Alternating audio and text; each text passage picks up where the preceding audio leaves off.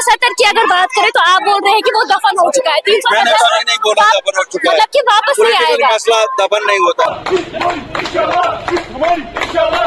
हमारा इलेक्शन में आना ही इस चीज़ की जमानत है कि हम कश्मीर और कश्मीरियों की आवाज़ बुलंद करेंगे।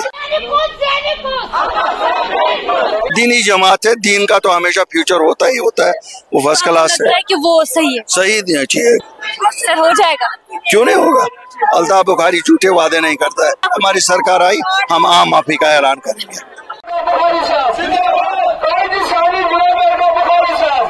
हर कैदी जो रहा होगा कश्मीरियों के लिए फखर है।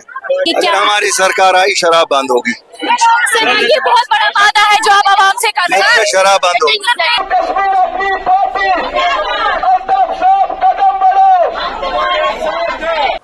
असलम नाजरीन गुड मॉर्निंग कश्मीर में आप सबका खैर मकदम नाजरीन, इस वक्त हमारे साथ मौजूद है अपनी पार्टी से अल्ताफ बुखारी साहब।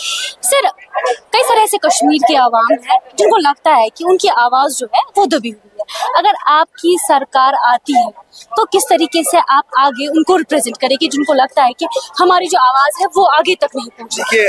हमारा इलेक्शन में आना ही इस चीज़ की जमानत है कि हम कश्मीर और कश्मीरियों की आवाज़ बुलंद करेंगे। सर ऐसे में अगर जमात इस्लामी की बात करें जमात इस्लामी भी सामने देखने को मिल रही है तो क्या फ्यूचर आप उस पार्टी का देख रहे हैं? नहीं दीनी जमात है दीन का तो हमेशा फ्यूचर होता ही होता है।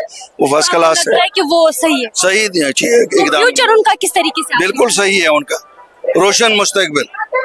सर ऐसे में अगर देखा जाए कई सारे पॉलिटिकल प्रिजनर्स हैं जो बाहर जेलों में पाते जम्मू कश्मीर के बाहर पाते तो आपकी सरकार अगर आती है तो क्या हमारी सरकार आई हम आम माफ़ी का ऐलान करेंगे। सर हो जाएगा। क्यों नहीं होगा? अल्ताफ बुखारी झूठे वादे नहीं करता है। सर सच्चे वादे हैं। सच्चे वादे हैं। सर ऐसे में इंजीनियर रशीद भी रिहा हो गए तो किस तरीके से आप इंजीनियर रशीद क्योंकि लोग जो उनको काफ़ी ज़्यादा प्यार कर खुशाहीन बात है। हर कैदी जो रहा होगा कश्मीरियों के लिए फखर है। सर आपको लगता है कि वो इस बार भी अपने नाम के इलेक्शन करें? क्योंकि लोकसभा में उन्होंने काफ़ी सारी सीट्स जो है अपने नाम की हमने देखा कि उन्होंने तो- उमर अब्दुल्ला को टक्कर वो तो लोगों के तक है। अगर लोग वोट देंगे वही कामयाब होगा। आपसे जानेंगे कि अगर कश्मीर की बात करें तो कश्मीर जो है उसको पिरवर या रिश्वर का दर्जा दिया जाता है। लेकिन हम देख रहे हैं लगातार वाइन शॉप्स को लाइसेंस मिल रही है।